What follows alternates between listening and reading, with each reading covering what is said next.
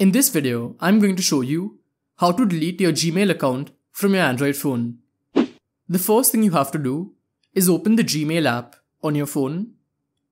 Once you're in the app, you'll have to click on your profile picture that's on the top right. So here, you'll see all of your accounts.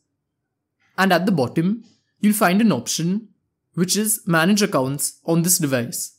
So click on it.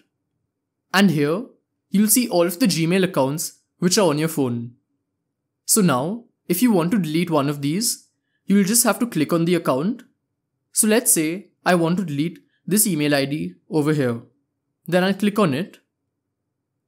And as you can see, there's an option to remove the account. So if I click on remove account, they'll ask me again if I'll want to remove it because all of my data will then be gone. And to remove it, click on remove account again. And now as you can see, that email ID has gone. So this is basically how it works. And if you want to know how to transfer data from your phone's internal storage to your SD card, then check out this video over here. That's it for today. Goodbye.